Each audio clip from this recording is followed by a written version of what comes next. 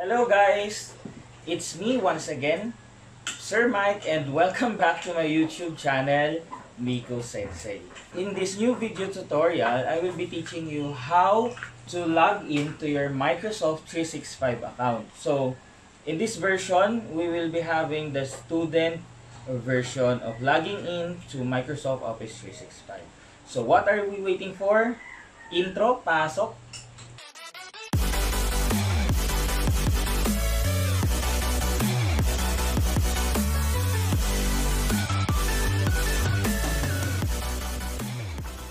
So, ngayon, paano natin ma-access ang Microsoft 365 account student version?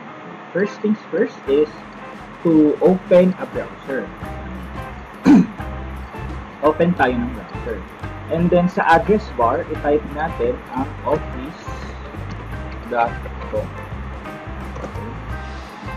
So, pasok ka sa office.com. And then, uh, sign in yung email na binigay sa inyo ng inyong mga teacher. So, for student version, so student account, ang template is lrn at ncr2.deped.gov.ph. So, yun po yung ilalagay ninyo. So, yun yung template natin para sa mga estudyante ng kanilang Microsoft account. So, for this, ito-type ko yung uh, gagamitin ko account.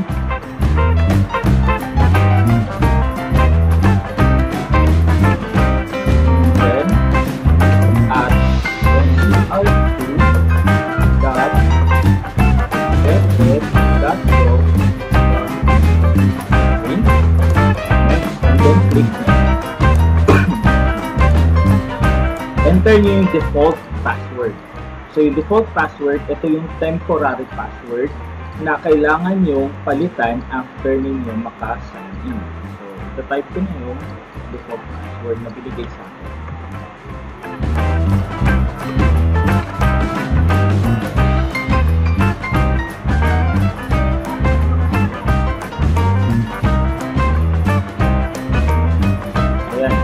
So, pagkatapos po ninyong ma-sign in ang inyong account, tapos nailagay nyo na rin yung inyong temporary password, hihinga naman kayo ng inyong permanent password. So, in this, ita-type nyo kung ano yung permanent password. Make sure na yung permanent password nyo ay hindi ninyo palilimutan. Okay? So, yun lang ang gagawin natin. Um, ang permanent password should be a combination of letters, numbers, and special symbols. Okay? So, ang lalagay natin dito is yung current password o yung temporary password. Yun yung nilagay natin.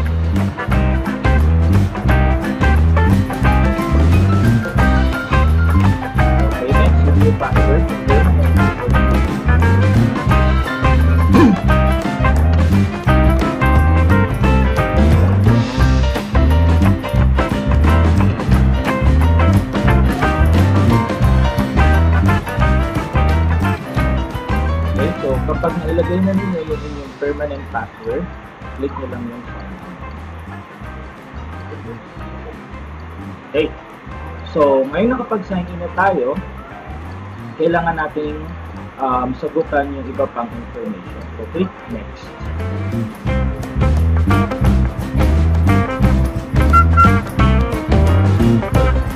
So now, make sure na pagdating nyo sa part na to ng pag-sign in ng inyong Microsoft account or pag-activate ng inyong Microsoft account, make sure na lalagyan ninyo itong mga tanong na ito. Kasi ah, ito yung makakatulong sa inyo once na nakalimutan ninyo yung inyong password. The first one is maglagay kayo ng phone number.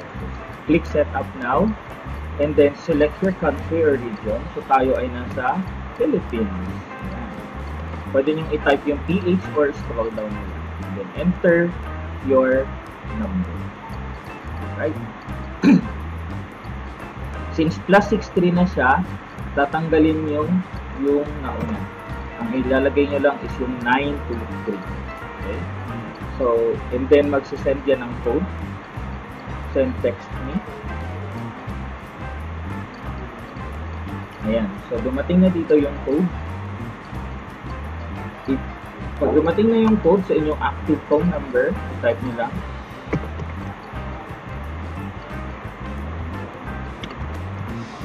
And then, click verify. Ayan. So, kapag may green check na siya, it means verified na siya authenticated. Next is you set up your email. Okay? So, set up natin yung email.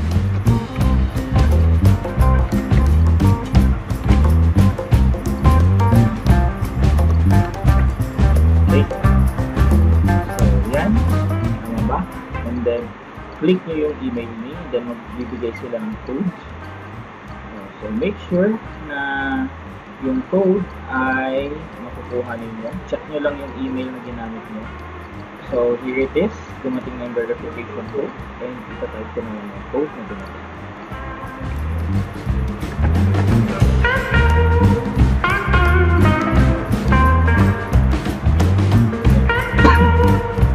Okay, yung security questions, um, pwede nyo sa kanilang sagutan to. Pero make sure na huwag na huwag nyo pong i-skip itong part na to. Kasi mahirap po magpa-reset ng password. So at least kapag nilagay nyo ito, pwedeng kayo na rin mismo yung mag-reset ng inyong sariling email account. Okay?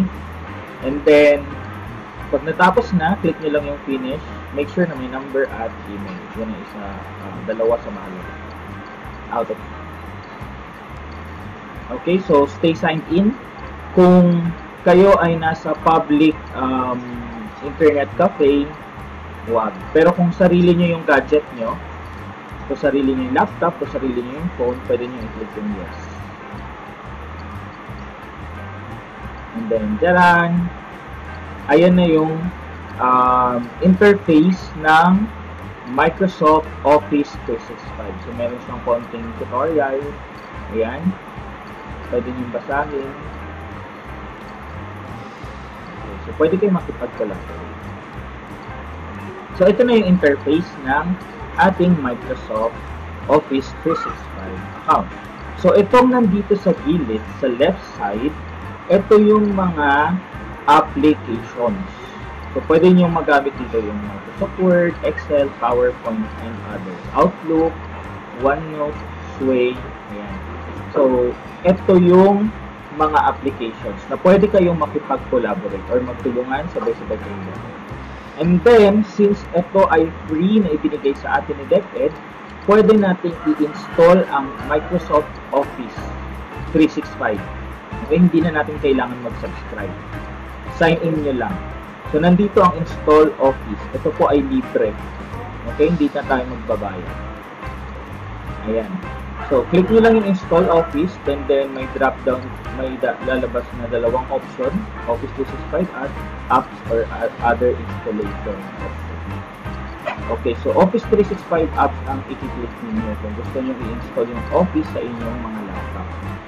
Okay, para hindi na kayo maghahanap ng mga piratang Microsoft Office. Okay? Hindi na kayo mahihirapan maghanap ng pirata or magka-crack ng mga Microsoft Office. Okay, ito ay libre. And then, click download. Ayan. Tapos, magda-download na siya. Kung saan nyo isi-save. Ta kasi na-save ko na to and na-install ko na rin. So, pinapakita ko lang sa inyo kung paano. Save as. And then, pagkatapos nyo po siyang ma-save as, click nyo lang po yung run para mag-install po. So, kung ano man yung mga nasa Office na gamit ninyo sa inyong laptop, pwede nyo na i-uninstall yan para mapalitan ninyo. Okay? So, yun lang yung ating tutorial how to activate your Microsoft Office 365 student version. So, stay tuned for more tutorial dito lang po sa ating channel all about Microsoft. So, pwedeng kung ano yung gusto nyo ipakop, um, gawa natin ng tutorial about Microsoft um, applications, just comment down in our comment section. Maraming maraming salamat. See you in our next tutorial. Bye-bye!